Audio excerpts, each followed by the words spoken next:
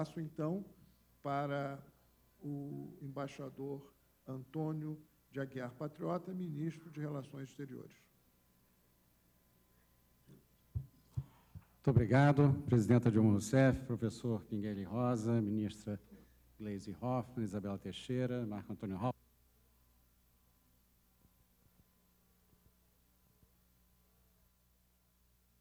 Conhecida como Rio Mais 20, oferece uma oportunidade única para uma reflexão ampla sobre o modelo de desenvolvimento a valer para o futuro, orientado à harmonização do crescimento econômico, inclusão social, erradicação da pobreza e proteção do meio ambiente. Ou melhor dito, como sintetizou a presidenta no Fórum Social de Porto Alegre, como reconciliar crescimento, inclusão e proteção. Crescer, incluir, proteger.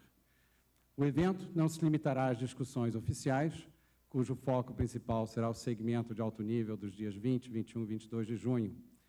Organizaremos, junto ao evento, Nelson, Nelson, teste. uma oportunidade para debate da sociedade civil nacional e internacional por meio de diálogos para o desenvolvimento sustentável a serem realizados nos dias de 16 a 19 de junho. No tocante à substância da reunião, queria ressaltar que o mandato definido pela ONU, ao trazer para discussão temas como a renovação de compromissos políticos, a economia verde, no contexto da erradicação da pobreza, e a moldura institucional para a governança do desenvolvimento sustentável, explicita que a Rio não será uma conferência ambiental, no sentido estrito da palavra, mas um evento que abordará integralmente o desenvolvimento sustentável em seus aspectos econômicos, sociais e ambientais. Deixar de enfatizar essa articulação tripartite resultaria em um empobrecimento do evento e perda de oportunidade que ele oferece. O conceito de desenvolvimento sustentável ganhou força ao longo dos 20 últimos anos, mas ainda permanece, eu acho que é necessário reconhecer, aos interlocutores da área ambiental, seja de governos ou de organizações não governamentais. Será importante gerar, portanto, a partir da Rio uma ampliação que leve o desenvolvimento sustentável a ser considerado como paradigma também pelos agentes econômicos, públicos e privados, e pelos interlocutores engajados na promoção do progresso social. Quero sublinhar uma distinção fundamental entre a Rio 92 e a Rio A cúpula realizada há 20 anos atrás a finalização de negociações iniciadas nas décadas anteriores, culminando com a assinatura de documentos como a Agenda 21, as convenções de mudança do clima, biodiversidade e desertificação a Rio por outro lado, deverá olhar para o futuro, construindo uma nova agenda para o desenvolvimento sustentável.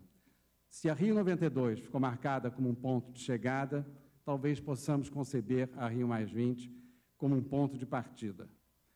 Uma palavra sobre o documento político que está sendo elaborado para Rio intitulado O Futuro que Queremos.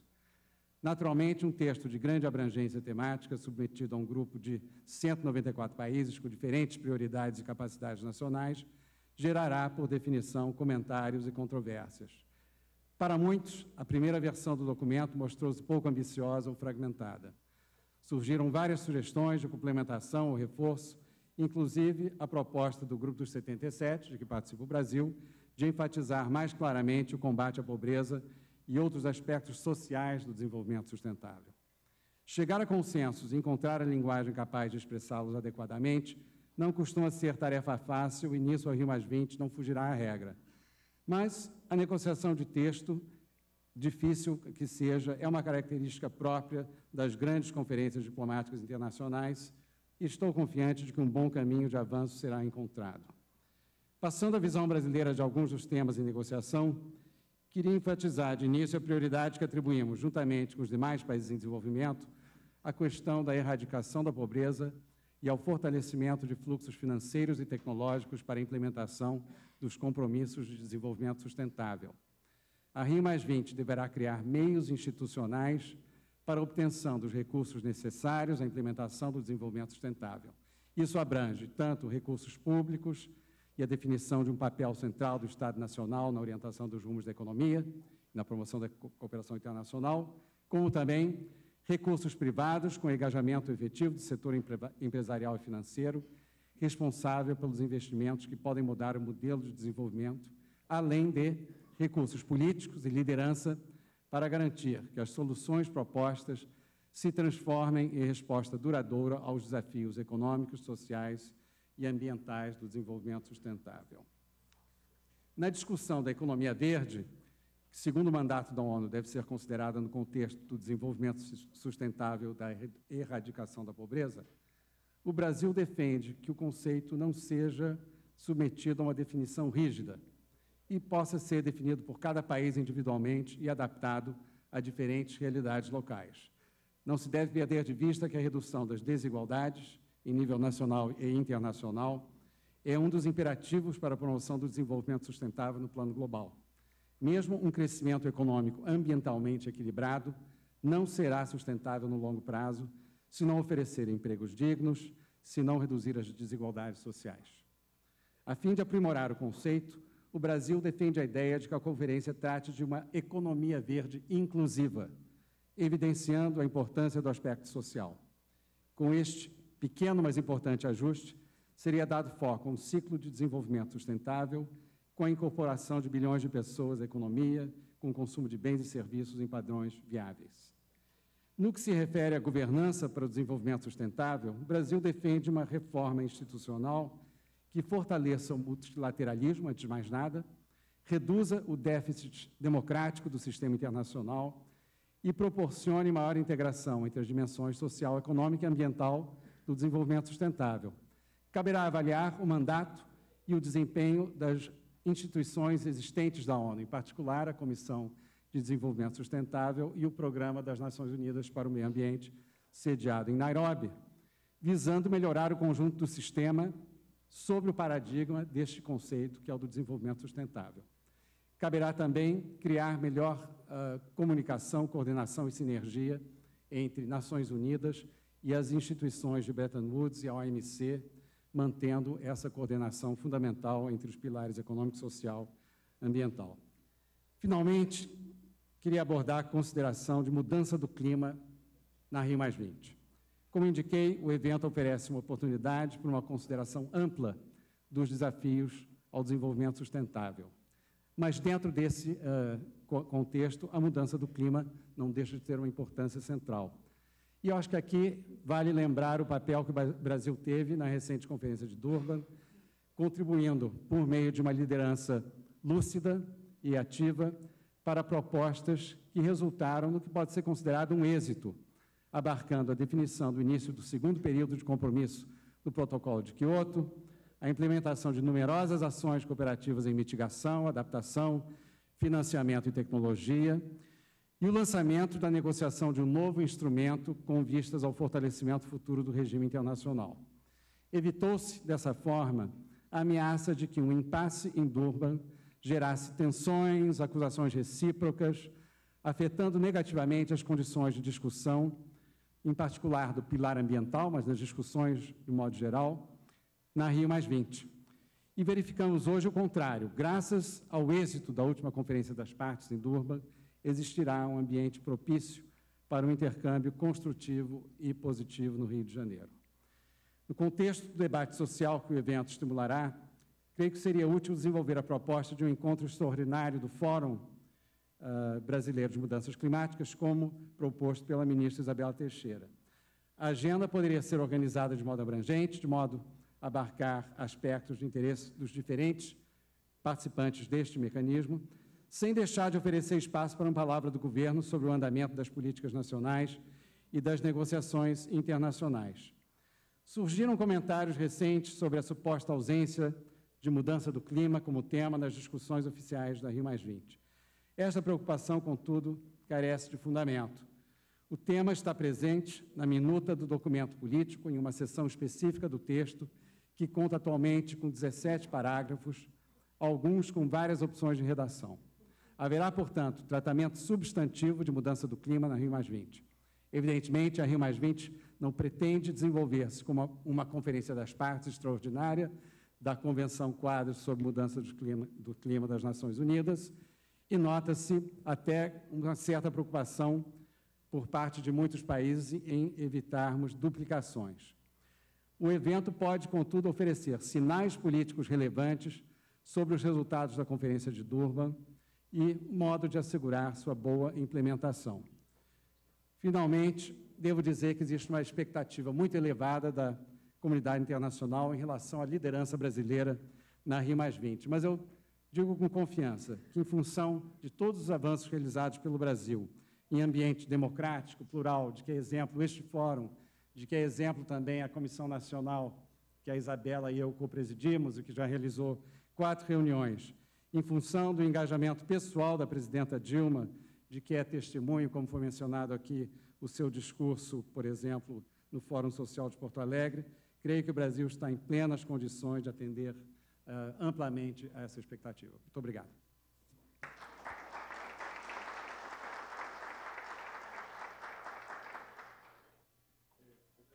Ao ministro das Relações Exteriores e, em nome do Fórum, é, é, aceito o convite aventado pelo ministro, de como um acordo com o Ministério do Meio Ambiente, com o ministro Isabela, de uma atividade do Fórum prévia a Rio Mais 20, dedicada à questão do clima, claro. É, bem, agora só me cabe passar a palavra à presidenta da República, a quem cabe é, o fechamento dessa reunião.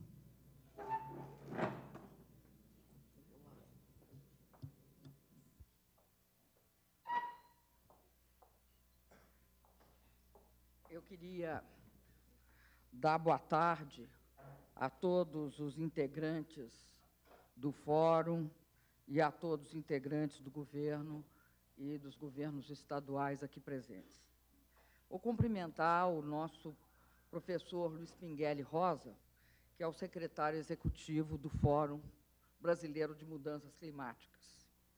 Queria cumprimentar os integrantes da mesa e, entre eles, eu quero cumprimentar a a ministra Gleice Hoffmann, da Casa Civil, Antônio Patriota, das Relações Exteriores, Isabela Teixeira, do Meio Ambiente, e Marco Halpe, da Ciência e Tecnologia. Ao cumprimentá-los, cumprimento todos os ministros aqui presentes. Cumprimentar o deputado estadual, a federal, Alfredo Sirquis, e dirigir um cumprimento especial aos oradores, o professor Técio Ambrise, coordenador do Comitê Técnico do Painel Brasileiro de Mudanças Climáticas, a Mônica Messenberg Guimarães, diretora de Relações Institucionais da CNI, o senhor Rafael Freire, secretário de Políticas Econômicas e Desenvolvimento Sustentável da Confederação Sindical dos Trabalhadores e Trabalhadoras das Américas, o André Spitz, representante do Grupo de Trabalho do Fórum Brasileiro de Mudanças Climáticas, Pobreza e Desigualdades, a Silvia Alcântara Piccione, secretária executiva do Fórum Brasileiro de ONGs, o senhor Elvio Polito Lopes Filho, secretário de Meio Ambiente do Estado de Pernambuco. Eu queria, primeiro, fazer um reconhecimento aqui de público. Acredito que toda política ambiental no Brasil deve, deve muito ao Fórum Brasileiro de Mudanças Climáticas. Eu mesmo sou testemunha desse fato, é, ainda como ministra-chefe da Casa Civil, acompanhei a atuação dos senhores e sei o quanto ela foi importante para que a gente estivesse sempre honrando o papel do Brasil como uma das lideranças da questão não só da mudança do clima, como da biodiversidade, da proteção de florestas, enfim, de todas as questões relativas ao meio ambiente. Eu quero fazer um agradecimento especial ao Pinguelli pela incansável atuação na frente do Fórum e pelo fato de que ele foi um promotor do debate. E debater no Brasil é algo muito importante. Nós, nem o governo, nem os órgãos da sociedade, nem tampouco o Congresso. Nós não temos é, uma, uma capacidade maior que o conjunto das nossas forças dialogando, formulando e estabelecendo políticas em conjunto. Por isso, eu acredito que o papel do Pinguelli foi estratégico para o Brasil. E foi estratégico em vários momentos é, muito delicados. Eu queria iniciar lembrando o fato de que, em dezembro de 2009, foi através de uma discussão do governo com o fórum que nós estabelecemos antecipadamente, de forma voluntária, a redução das emissões de carbono no, do, numa projeção até 2020. Fomos, talvez, o primeiro governo a fazer isso de uma forma muito explícita e, mesmo defendendo as responsabilidades comuns, porém diferenciadas, nos propusemos a reduzir 36, de 36% a 39% as, as emissões de gases de efeito estufa e aprovamos isso numa lei. É, acredito que vai ser muito importante definir não só as condições, cada vez mais, depurar isso, inclusive, as condições de medir isto, que não são triviais, não são triviais para país nenhum, não são triviais para movimentos nenhums, porque há que definir as relações que, que permitem que nós, de fato, é, principalmente em alguns segmentos, que nós possamos provar de fato que reduzimos. E alguns nós temos até uma, uma experiência maior e um modo mais fácil de demonstrar do que todos os demais países que eu já vi. Exemplo disso é o caso do desmatamento. Acho que nós temos uma tecnologia para nos antecipar e mesmo para monitorar o desmatamento que poucos países têm. Até porque, na grande maioria deles, eles já desmataram o que tinham para desmatar. E agora trata-se de retomar as condições que foram perdidas no passado. Mas eu acho que esse fórum é uma garantia para o Brasil, é uma garantia que nós vamos poder continuar avançando. E mais, vamos poder discutir de forma aberta as questões principalmente porque o Brasil vai sediar uma das conferências importantes desse ano no que se refere à questão ambiental.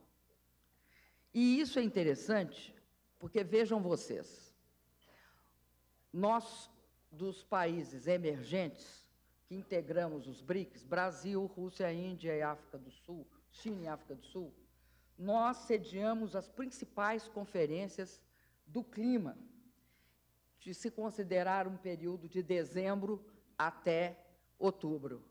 Dezembro do ano passado até outubro. Por quê? Em dezembro nós tivemos Durban, na África do Sul. Nós vamos ter sobre mudanças do clima especificamente, né? Conferência das Partes. Depois nós vamos ter a Conferência para Desenvolvimento Sustentável. Pela primeira vez se discutirá uma questão que sempre está por trás de todas as conferências, todas, sem exceção, principalmente das conferências das partes. A, por trás da conferência das, das partes de mudança do clima tem uma discussão, que é a discussão eterna. E só se nós formos extremamente ingênuos, não a perceberemos. Né? Pelo menos eu assisti reuniões muito, diríamos assim, muito reveladoras assistir discussões extremamente reveladoras, que é a questão do clima e da geopolítica internacional. Essa questão existe. E ela move o mundo e move posições. Então, nós vamos explicitar uma discussão que até então estava debaixo da mesa, que é essa do desenvolvimento sustentável. Depois, vai ter uma conferência que é importantíssima, até porque ela ocorre na Índia sobre biodiversidade em Derabad, em outubro. Fechando o ciclo, que é interessante porque são os principais países megadiversos, né, que são os, os países mais, mais ou menos dos BRICS, que estarão presentes e terão de estar presentes, porque trata-se do ciclo que discutirá a questão ambiental. Eu acho que nós temos de saber que vários desafios se conjugam simultaneamente para todos esses países que lá estarão. Governos, sociedade civil, cientistas, professores, enfim, os integrantes dessas populações. Nós vamos ter desafios na questão da produção do, do, de alimentos e da sustentabilidade, da elevação da temperatura média do planeta e a questão dos desastres naturais. Todos os, os, os países estão preocupados com isso. Na questão do acesso à água, que para nós aqui fica muito difícil de perceber o quanto assim, eu estou falando do ponto, não estou falando aqui de cientistas, nem de professores, nem de pessoas mais o maior nível de consciência, mas para a nossa população, tirante os períodos de seca do Nordeste e do Sul para a nossa, nossa população, nós temos água excedente. Mas há países que não têm água agora, para a grande maioria da sua população, não tem água hoje. Todas essas questões que dizem respeito também ao desenvolvimento, ao crescimento, ao acesso à energia, são questões que estão pautadas no mundo e vão ter de ser discutidas da ótica do meio ambiente aqui no Mais 20. Portanto, nós temos de perceber que, para o Brasil, é importante que não só nós continuemos, porque sempre tivemos um papel de liderança em todas as conferências das partes. Inequivocamente, tivemos um papel de, de liderança e estivemos sempre à frente e puxando a discussão de que era possível desenvolver, crescer, mitigar, reduzir emissão e teremos de manter a liderança no sentido de discutir de forma clara que cidades sustentáveis são essenciais. Porque sem cidades sustentáveis, nós vamos ter um problema seríssimo nas 30 maiores cidades do mundo, que é fundamental proteger os cursos dos rios, senão você não consegue se desenvolver. Que nós teremos de ter energia renovável. E re energia renovável, e o, o Pinguelli sabe mais do que eu, para garantir energia de base renovável, que não seja hídrica, fica difícil, né, Pinguelli? Porque eólica não segura, né? Não. E todo mundo sabe disso. Eles sabem disso. Então, nós vamos discutir claramente emissão de, de energia fóssil e físsil. Físsil não tem, não tem emissão, mas tem consequências a, a, a proposta de discussão da Rio Mais 20 é a proposta de discussão onde tudo se encontra. É essa a proposta de discussão da Rio Mais 20. É onde tudo se encontra.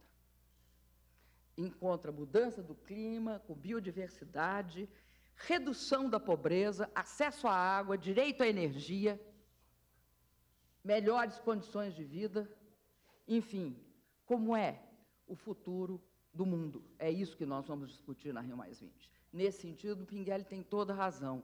É um ponto de partida, muito mais do que um ponto de chegada. Desta vez, nós temos de mudar o patamar da discussão. Nós acumulamos muitas coisas. Acumulamos em todas as conferências do clima, acumulamos em todas as discussões sobre florestas, água, biodiversidade. Agora, nós vamos ter de discutir isso na ótica das populações, dos governos, das comunidades científicas, dos organismos da sociedade civil, organizados ou não. Por isso que eu acredito que nós temos um papel muito importante.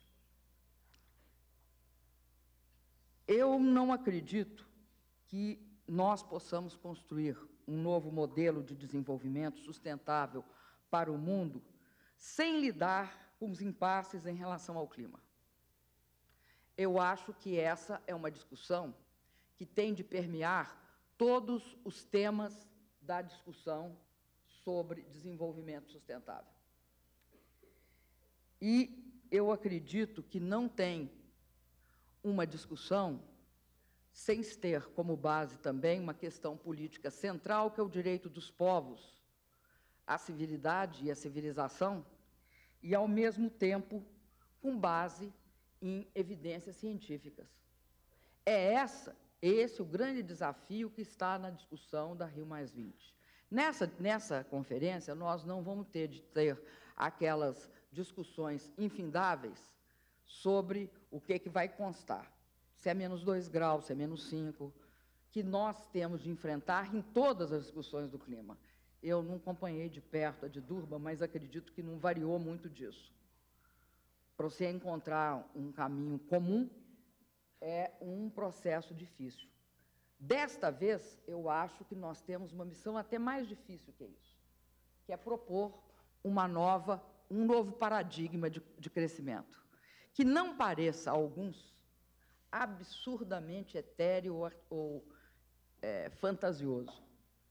Que ninguém, numa conferência dessas, também aceita, me desculpem, discutir a fantasia. Ela não tem espaço, a fantasia. Eu não estou falando da utopia, daí pode ter. Estou falando da fantasia. Eu tenho de explicar para as pessoas como é que elas vão comer, como é que elas vão ter acesso à água e como é que elas vão ter acesso à energia.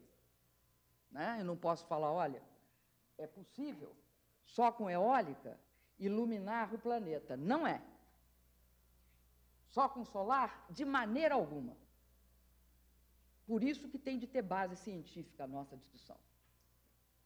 E por isso que eu tenho de entender que eu não faço proposta, e essa é a responsabilidade do Brasil, só para si mesmo, olhando para o seu próprio umbigo. Nós teremos de fazer propostas encarando o mundo, encarando o fato de que tem milhões e milhões de pessoas sem acesso às condições mínimas de vida. E hoje, por decorrência da crise internacional, nos países desenvolvidos, tem milhões e milhões de pessoas perdendo seu direito, perdendo seu emprego.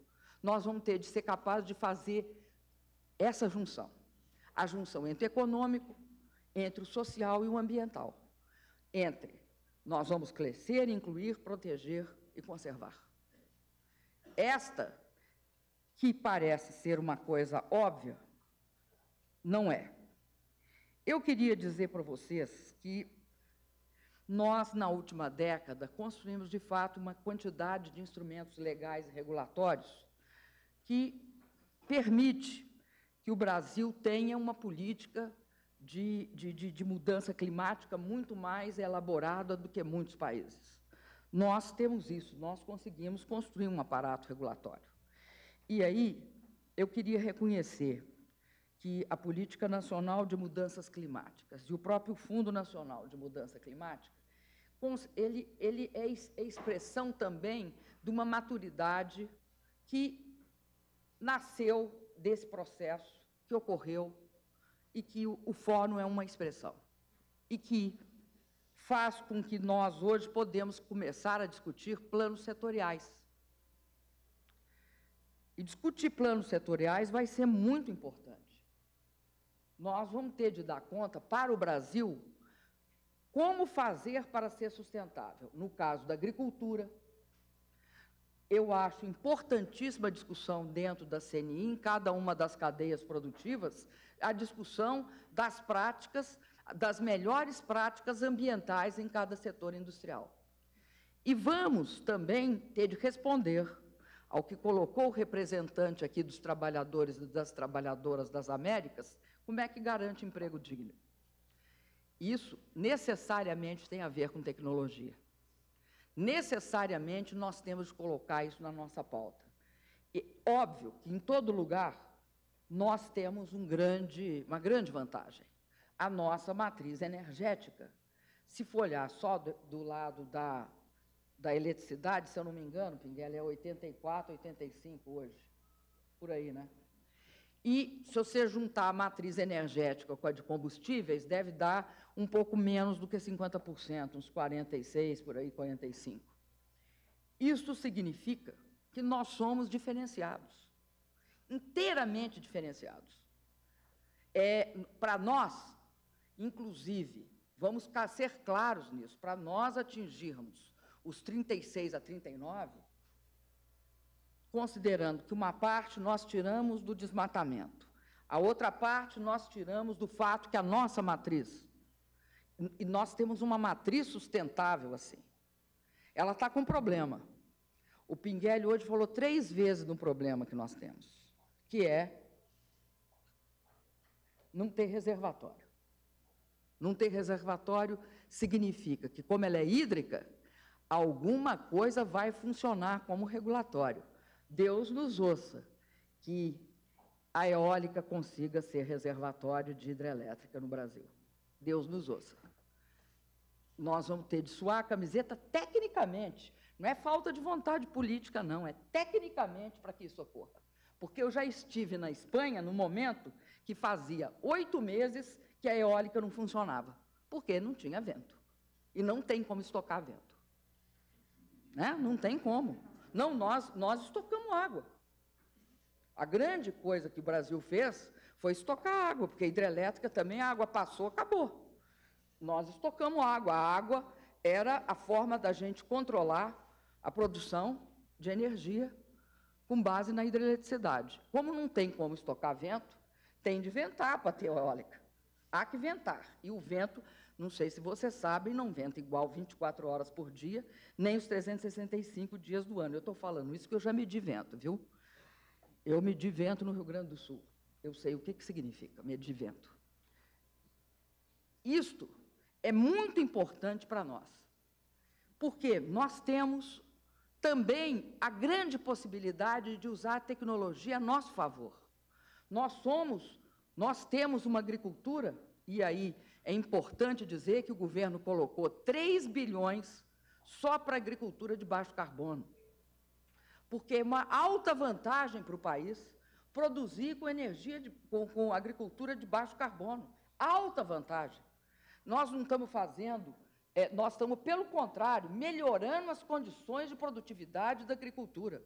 Plantar direto sobre palha, fixação do nitrogênio no solo, rotação de, de, de lavoura e pecuária. Enfim, nós temos vários mecanismos que nós podemos usar e transformar esse país num, num, num, numa referência internacional. Agora, nós temos de entender que tem certas condições que nós temos que outros não têm. Umas decorrentes de nossas vantagens comparativas, outras eu acho que é decorrente de do empenho dos brasileiros. Muitas vezes a gente se diminui, mas o plano do etanol é um empenho nosso, típico. Nós nos empenhamos, nós, nós teimamos. Teimamos, vai ter etanol porque vai ter etanol. Na, na, em relação às crises do petróleo. Foi uma teima do, do, do de, eu não estou falando do meu governo, nem do governo do presidente Lula, estou falando de uma história que foi essa. Nós teimamos para ter biocombustível no Brasil. Eu, eu, eu, eu, eu levanto isso por quê? Porque nós temos de ter uma dupla atitude em relação a Rio Mais 20. De um lado, nós temos de ser a liderança, de dizer que pode fazer porque é possível fazer, porque nós faz, fizemos. E falar, além disso, com humildade. E nós temos de fazer mais. Mas, de outro lado, nós temos de entender que alguns países têm grandes problemas para dar salto. Porque senão você não entende por quê que certas coisas acontecem como acontecem. Agora, essas, esses dois movimentos são essenciais para a gente formular um plano de crescimento sustentável, em que o mundo será um mundo melhor, se respeitar o meio ambiente, se tirar as pessoas da pobreza e se para isso crescer. Não é possível a gente criar a discussão falsa de que desenvolvimento sustentável não é baseado no absoluto respeito ao meio ambiente. Essa é uma discussão falsa de quem não tem projeto e de quem não vai apresentar um caminho para o mundo. Não pensem que isso seja efetivo. Não é efetivo. Só será efetiva a nossa presença em termos de proposição na Rio Mais 20 se nós formos capazes de articular, junto com o meio ambiente, a, a possibilidade do mundo ser melhor para as pessoas. E aí, eu quero dizer para vocês que eu considero importantíssimo para nós os planos setoriais. são para nós mesmos. Nós temos de aprimorar o nosso lado, nós podemos, nós temos de fazer mais do que a média internacional, porque as nossas condições são melhores. São muito melhores. Eu pego um país que só tem carvão e atendo a energia das casas como? E carvão é um emissor absolutamente é, poluente do meio ambiente. Você chega em algumas cidades, não vou dizer, dizer quais, você não enxerga o lado de lá. Né? E se você tem um pouquinho de alergia, você sai com problema no pulmão. Então, mudar essa situação, mudar a situação, precisa necessariamente da gente avançar e da gente entender que nós vamos ter de construir propostas para o mundo no que se refere, por exemplo, à mudança das matrizes energéticas. Daí é importante lá mostrar o, o, o carro movido a hidrogênio, porque o maior poluente é a matriz de combustível, não é a matriz elétrica. O maior poluente no mundo é a matriz de combustível, é a emissão de CO2. Por isso que nós temos uma situação absolutamente diferenciada ao termos o etanol. Completamente diferenciada. Hoje eles estão procurando várias outras alternativas e isso implica que este fórum ele tem uma grande contribuição a dar, porque aqui está organizado, todo está estruturado, tem reunião, todos os diferentes segmentos que mexem de uma forma ou de outra com a questão do clima, da biodiversidade, das florestas, do crescimento, do, do, do direito às pessoas a uma vida melhor, de sair da pobreza, de sair da miséria, de sair da rua. E por isso eu gostaria de convidar o fórum por um desafio, que é conduzir esse processo de consulta pública e sistematização das contribuições de toda a sociedade brasileira aos nossos planos setoriais. Acho que não só através de conversas e de discussões e de é, rodadas e conversas, mas também utilizando a internet.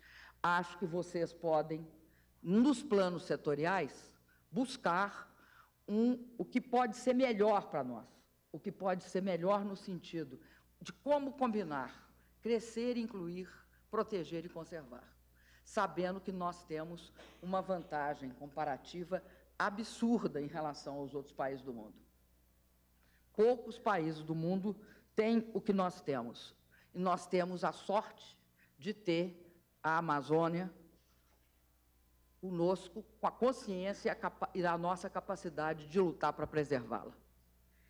Eu quero dizer também que algumas, eu tenho muita orgulho de algumas iniciativas. Não só todas aquelas ligadas à tirada da pobreza, como o Bolsa, a Bolsa Verde, o Brasil Sem Miséria, e dentro do Brasil Sem Miséria, o Bolsa Verde, como luz para todos. Porque tirar, fazer com que as pessoas tenham eletricidade e possam utilizar a energia elétrica, evita que quando eu comecei nessa questão de energia, vocês sabem qual era a maior fonte de energia que tinha no Brasil, né? Era a lenha. Então, nós não vamos voltar para a lenha. Né? Eu não posso justificar lá no Amazônia o cara não ter energia elétrica, ele vai arranjar um jeito de se virar para cozinhar ou para até para fazer fogo e até para se, se proteger. Daí porque eu considero que vários, vários programas nossos, por exemplo, Todo o programa do PAC relativo a saneamento é fundamental para preservar. O saneamento é fundamental no Brasil para preservar todos, toda a água das cidades. Não há cidade sem água. Para acabar, toda a discussão nossa tem sido, na maior parte dos casos, o maior gasto para saneamento é tirar as pessoas das margens dos rios, dos lagos, dos córregos, enfim, permitir que, ao, ao serem retiradas, você possa tratar.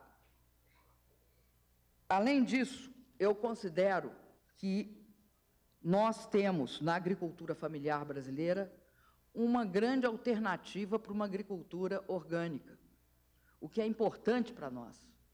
A nossa agricultura familiar se tornar cada vez mais sustentável, menos de subsistência e orgânica.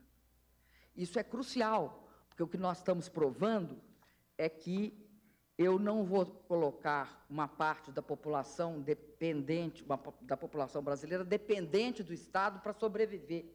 Eles vão sobreviver pelo trabalho decente deles e, ao mesmo tempo, por uma política de compras, uma política de financiamento, absolutamente autônomos, sem dependência do Estado brasileiro, ou seja, com autonomia. Tudo isso faz com que eu acho que nós mesmos temos de nos reconhecer, como o mundo nos reconhece, como um país diferenciado nessa área. Por isso, eu tenho certeza que com a presença de vocês, com as visões diferenciadas, ninguém aqui está querendo que todo mundo pense igual ao governo, porque isso é inviável. Nós todos sabemos, vivemos numa democracia, e, pelo contrário, acho que contrapontos fazem com que nós tenhamos a possibilidade de ter uma compreensão comum deste processo complexo que é desenvolver, incluir e proteger e conservar um país das nossas dimensões e que pode, de forma preservando o meio ambiente, ser uma das maiores economias do mundo. Mas só pode ser isso se for uma das maiores nações. E para ser uma, uma das maiores nações, a gente volta no círculo virtuoso é necessário crescer, incluir, proteger e conservar. Muito obrigada.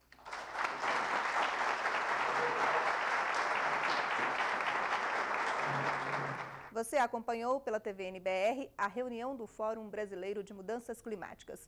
O encontro, presidido pela presidenta Dilma Rousseff, teve as presenças de membros do Grupo de Trabalho de Mudanças Climáticas, Pobreza e Desigualdades e de representantes de vários setores da sociedade civil. A finalidade do fórum é conscientizar e mobilizar a sociedade para enfrentar os problemas decorrentes da mudança do clima por gases de efeito estufa. Cabe a ele gerenciar a inclusão nas políticas públicas de questões sobre mudanças climáticas. Continue com a gente, NBR e a TV do Governo Federal.